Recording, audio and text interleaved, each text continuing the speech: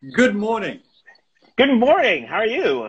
I'm I'm very well. Or good morning, good afternoon, wherever you're watching this. Um, I wish you had told me that you were dressing up because I would have put on a suit. I always look for an Listen, to, to, to work. I'll, I'll have you know this is America. And just because we're not doing this on a red carpet, just because I'm stuck quarantined at home, does not mean I don't still have a wardrobe, young man. Uh, well, I feel very underdressed, which is something I rarely say because all my friends give me crap for constantly wear for constantly wearing a blazer. But well, well, of, of next course, time we I do this, have- oh no. I always have to start my conversations with you, the Chancellor. I also felt, you know, I always have to bow to the Chancellor, um, and felt I needed to up my game. So if I can't do it in name, I will do it in uh, attire. Well, we appreciate it. Um, thank you so much for being here today. Um, season three premiere last night. Um, which I imagine like you, wait, how many times have you watched the season premiere at this point? um, so obviously you, you watch it kind of as, as bits kind of go through and, and, and you go through various drafts um, because Chic Eglee was very kind of bringing me into a lot of the, the pre-production, the, the creative, the writing, and then uh, in post as well. He kept me very much informed with, with um, everything. I would say I not as much as the first season, but I have seen this this episode probably five times now, six maybe maybe six times now, in full. And like each time, do you find something new that you enjoy about it, or what, or what is your favorite aspect of it? Well, that's that's kind of the great thing about American Gods is because it's so complex and deep in in, in with so much uh, information and, and storyline.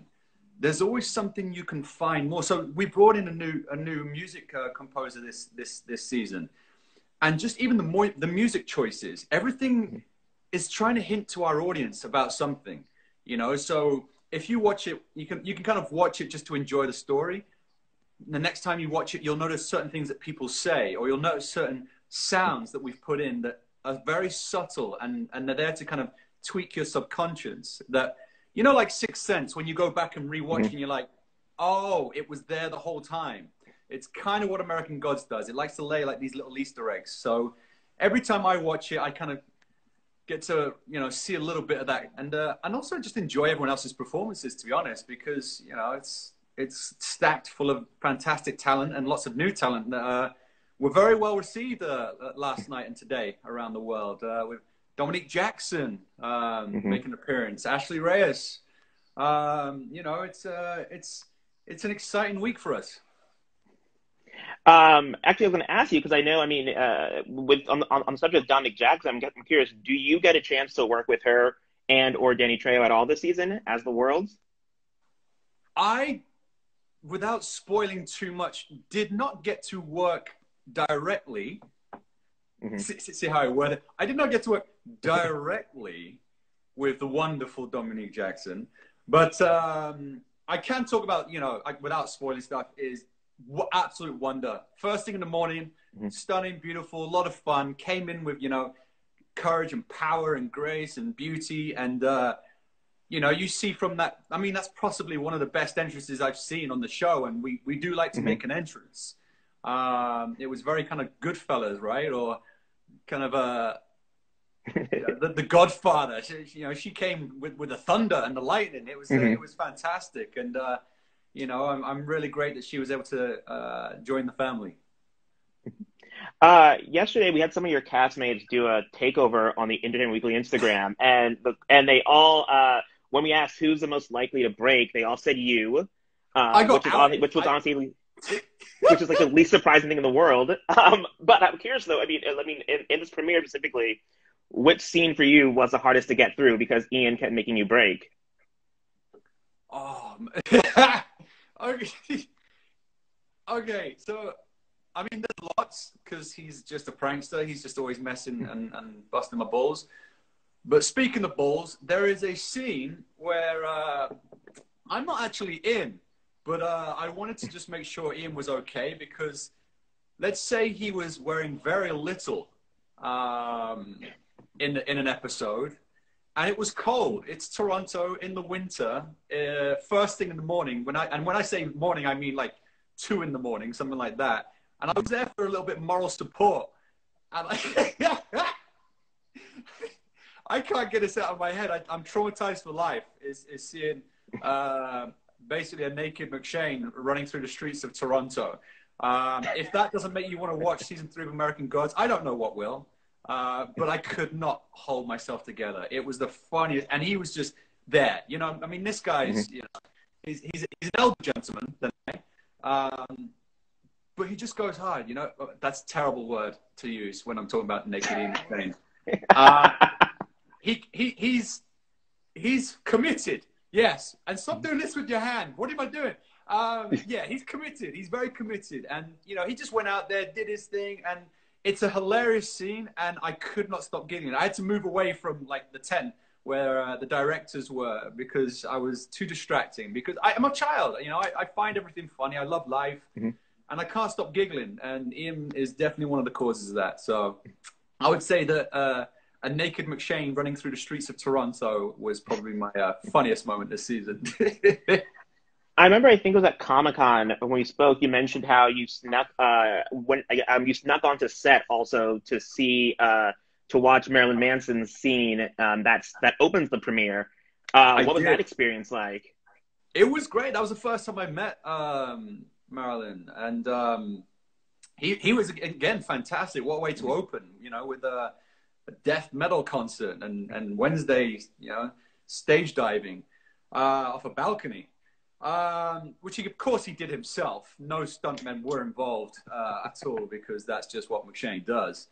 But um, it was fantastic, you know. I, I, I managed to sneak on one of the, the, the rock t-shirts and I'm, I'm about four rows back. So if you look carefully in the crowd, you'll see me tongue out, rocking out, shaking my head, uh, really loving it. Um, but uh, it was fantastic. It was a great atmosphere. We had lots of kind of actual fans of Marilyn Manson in the, in the audience. You know, when we when we kind of get our, our extras and our supporting artists uh, for for background, um, you know, you get them from various um, sources. But as soon as people found out that Marilyn Manson was going to be on the set, you know, we, we you know you had to literally hold them back at the door.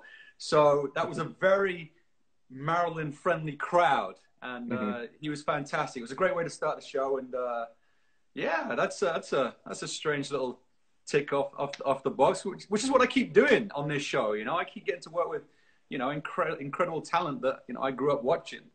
He used to mm-hmm. terrify me as a child. I'm not gonna lie. uh, you mentioned at the beginning of this um, some of the new characters we got in this episode. I want to start with um, Cordelia, played by Ashley Reyes. Um, we only got a taste of her in the premiere. Uh, but I'm curious. I mean, looking ahead a bit, I mean, how would you describe sort of Shadow and Cordelia's dynamic? Like, is Shadow like run away as far as, as fast as you can from this madman, or? I mean, Shadow's definitely kind of holding all that world at, at arm's mm-hmm. length. And here he sees another human, or who, who he thinks someone is, is human, because he never knows who's human and who's not in this mm-hmm. world. Um, you know, he thought he's, he was human his whole life until uh, last season. So um, he definitely sees something in Cordelia, and mm. and he will kind of get closer to her. Their dynamic actually is one of my favorite things this season. Is how the the, the two kind of grow together. Um, it's a, it's a really lovely dynamic, similar to to that of uh, Sam Crow in in the book, mm-hmm. and and how Devery Jacobs. Uh, kind of did last season, and she's also going to be returning this season, which is fantastic to see you know, Sam Crow come back. Um, but yeah, he, he, he does. I, again, I don't want to spoil it too much. He kind of wants her to find her own way, you know, like, mm-hmm. like he doesn't want to push his ideas onto other people, which I think is very important. You know, he's, he's not mansplaining to, uh, mm-hmm. to, the, to, to her. So he wants her to kind of make her own choices, but he does give her a little word of warning that she might be in over her head and to just kind of look out for herself. You know, Mr. Wednesday is not necessarily the most loyal of uh, bosses. Um, and with and with Shadow and Wednesday, I mean, in this in this in this premiere, they have that uh, sort of contentious first conversation where where Wednesday sort of explains what happened between uh, Shadow, with, with, uh, sorry, between him and Shadow's mother. Um, and and I'm guessing now, I guess moving forward, I guess, I mean, what other questions does sort of Shadow have about that about that sort of about his history now because I think like that conversation barely scratched the surface of this earth-shattering revelation that he's his son. Yeah, I mean it's it's a tough situation, and, and in a world of fantasy and sci-fi, gods, dead wives, these are the moments that are really relatable to an audience um, mm. and kind of keep it grounded. Um, and so you find Shadow in a situation where he has got no time for this guy. This guy could have been there at any moment in his life, and he's got no time for him. And you see the disdain in, in Shadow's face. He doesn't want to spend a, a, another second, but he does have so many questions. Not just, you know, what kind of god is Shadow Moon? You know, what kind of mm-hmm. powers does he have? What's his history? How did this happen? But also, like, his mother, you know, where were you? Like.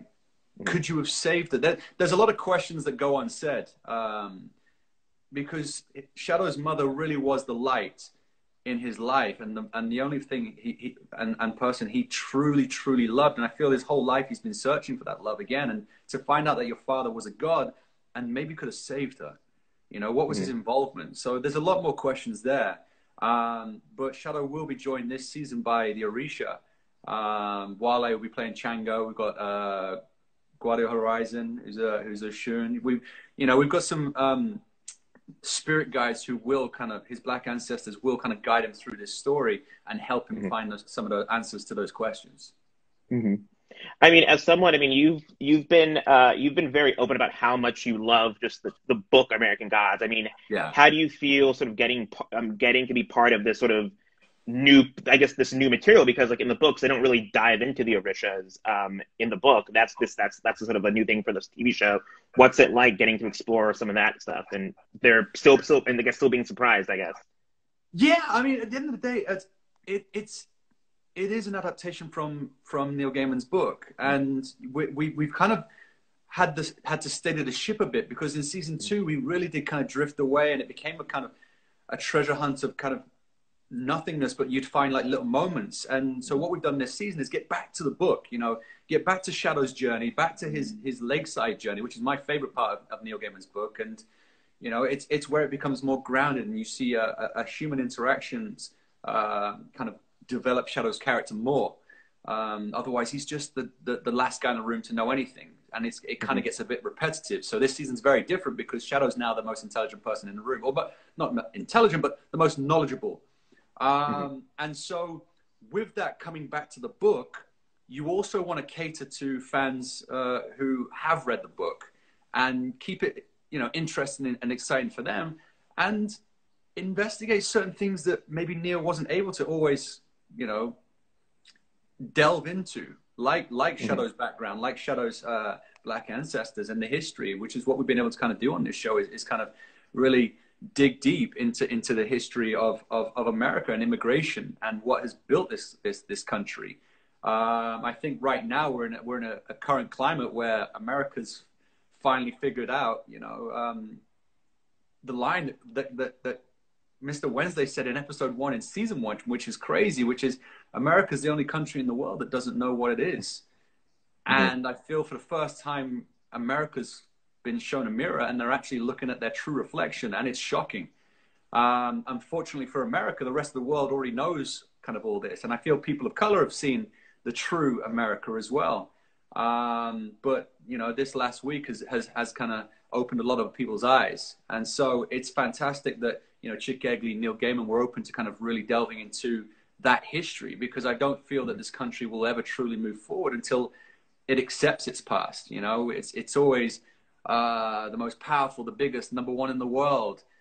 And mm-hmm. it kind of shuns, you know, you know, any negativity and any dark past that it had. But you have to own that, you know, like as all human beings, you know, yourself, I'm sure you're pure as heck.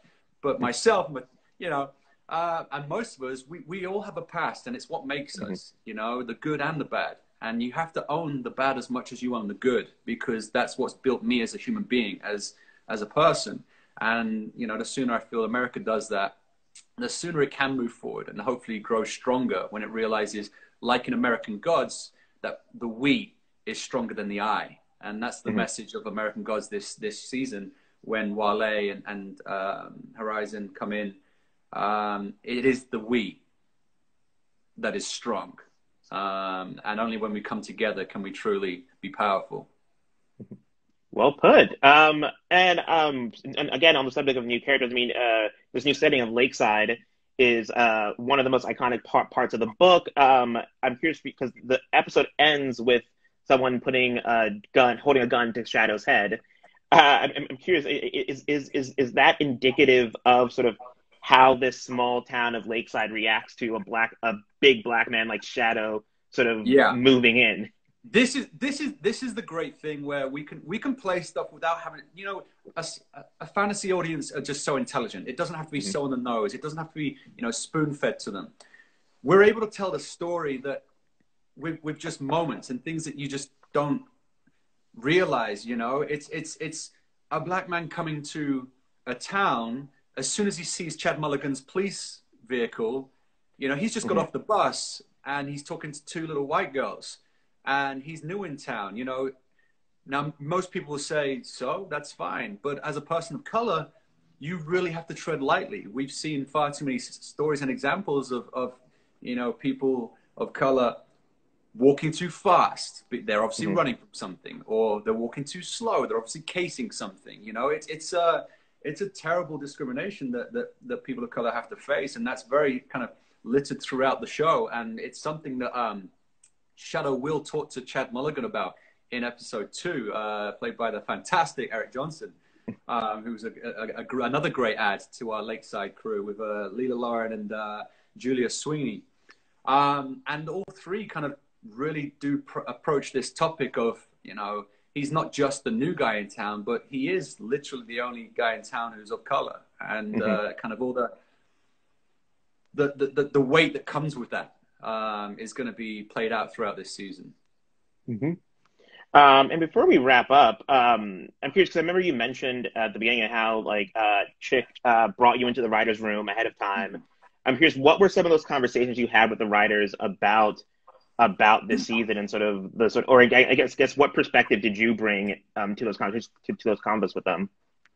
Um, well, the thing is, it's it's it was just uh, like a a real honor to be in that room with such talent. As soon as you go in and you look around at, at, at all the diversity and the and the knowledge that, that people brought, um, and I've said this before because you know obviously uh, American Gods is a hot topic when it comes to diversity and various things that have been said before this show aired.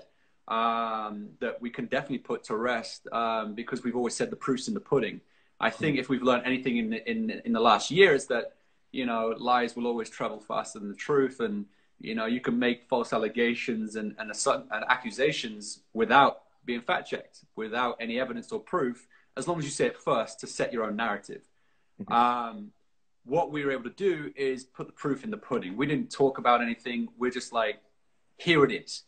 The writing room is roughly 10% cisgendered white straight male. The rest is black, Latin, biracial, white, male, female, LGBTQ, formerly incarcerated, because Chic Eglee and Neil Gaiman wanted as much diversity behind the camera so that we could be truthful on camera, because you can't be authentic if you hmm. don't have true authentic voices behind the camera telling those stories. And it wasn't just one person's voice, it was about everyone's voice. So not just on camera, but behind camera, it's about the we and not the I. We've moved away mm-hmm. from the, the, the, selfishness. We've moved away from the, the self-serving and moved to the, the greater good. How can we all rise together and push forward, telling everyone's story?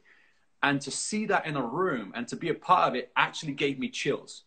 It gave me chills to see their passion and for people wanting to tell their story, their truth, coming from their own experiences of their lives. You know, mm-hmm. we, we had the LGBTQ telling their story, not me giving uh, you know my empathy and giving me my giving you my thoughts. And when you write a season, you you tend to have writers go away and do their episodes. You do episode one, I'll do two. You'll do three. You'll do four. And that's what they did in this show. But instead of going away to their separate offices, which of course they did from time to time, mm-hmm. they had a communal room where they would be in there and they would ask for advice. They're literally looking at you saying, What's what would a black person say? What would a, a woman say? How would uh, the LGBTQ community respond to this? As someone who was formerly incarcerated, what's the first thing that you think of when you walk through this door? You know, mm-hmm. and that blew my mind, and it was fascinating to kind of see that depth in and commitment to inclusion, representation, because you know that's that's what's important. We need to kind of make sure that everyone has a voice in this world. It's it's very important, especially in America today. And then from a practical point of view as well, just just seeing a story laid out, asking me what does Shadow mean to me? Like where do I want to see him go? I, in, obviously, we're doing the adaptation of the book, and he's I'm I'm building a character slowly, and I've got to get mm-hmm. to a certain spot. Um, but how do we create the path to get there. And it was nice to kind of be involved in that in, in his language, how he speaks, how he's going to grow, not just this season, but through to the next season. That's something that I've not had before. You know, we always had the book there as a, as a blueprint, but the, the show kind of meandered so crazily as during season two, you kind of got a little bit lost and you weren't yeah. sure where, where you were going as an actor. But in this season, as an actor, I finally have my, my, my, you know, my middle and my end to my story. I, I, I knew my beginning in seasons one and two. You, mm-hmm. you, you keep that history with you and carry it forward. But now I know my season three and I know where that character's going. And as an actor, it just makes you so much more efficient. Um, and all the actors were actually all brought in. You know, Yetide Badaki, Bruce Langley, uh, Ian McShane, Emily Browning. You know, we, we're, we're all kind of brought in to kind of discuss that journey together and what we wanted to bring to the show this season. So it was very inclusive, very like family oriented. You know, everyone kind of had a voice because you know people coming in wanted to hear it, and mm-hmm. that's very rare, to be honest. That's very rare in TV. You know, uh, Bryan Fuller and Michael Green were very much like that at the beginning, but they were establishing a world, and uh, we've moved on from that now, and it's now kind of a whole different thing. So um, you know, it's it's uh, it was quite a process, but I think with the, with all the reviews coming out, I think we really have, you know, smashed out of the park. It's, it does it, it really is a true return to form, and I feel that the, the fans, you know, in America watching on Starz and around the world on Amazon Prime Video are really just uh, glad to see the show back. Glad to see that we, you know, as Wednesday said, same same soul, different chassis. Mm-hmm. Uh, and on that note, I guess to wrap up, last question, uh, just to give everyone watching something to look forward to. Um, what is the one episode you are really looking forward to people seeing this year? Five. That you're, five? Is, is that the Ocean's Eleven one? Episode five is my Ocean's Eleven episode. Mm-hmm. Damian Kindler is, is was was writing that, and it was just so much fun to see Shadow completely, you know, at home and at ease. A different side of Shadow, a fun Shadow, a, a very um, con man shadow doing his thing. I get to interact with with, with, with Bilquis, with Cordelia, with Tech Boy, you know, with with uh, Wednesday, with you know, Blythe Danner comes in, and you know, that's another actress that I you know I love watching growing up. Um, and then obviously the season finale. You mm-hmm. know, the season finale is phenomenal. This season we've got ten episodes instead of eight, so we're getting two extra episodes. And the season finale, when I put it down, I text Chic Eglee and some of the writers straight away and just said, "Wow." it blew my mind, and it's literally for me, it's the best cliffhanger of all three seasons, and it just wants you, you know, coming back. I, I think fans fans will probably get angry the cliffhanger's that good. They'll be angry that, that, that, there's not the next one. You know, we live in a binge culture, and you mm-hmm. know, people want to see that episode. Like so. The, the, the, sooner we get back to filming and, and, and making the make, finishing off this story, the, the better. Because yeah, episode five is fun, but episode ten is epic. Awesome. Uh, well, Ricky, thank you again for joining us. Um, as you, I'm not sure, not sure you can see the comments, but the most consistent comment has just been how much they love you. So I'm sure everyone watching really appreciates you tuning, uh, you dropping by for this. I appreciate. It. I just want to say massive love to, to all our fans uh, all around the world, wherever you're watching this, and to you, sir, for always having the time and patience to deal with my bumbling, yabbering all the time and, and craziness this early in the morning. I'm sure you've got better things to do, like breakfast. Not not now because I'm stuck at home, so it, it works out now. Yeah. Well, it's always a pleasure to, to chat to your smiley face, man. I appreciate thank everything you. that you do. So thank you for, for your patience and, and the time today. Same. Uh, you too. Stay safe. Bye.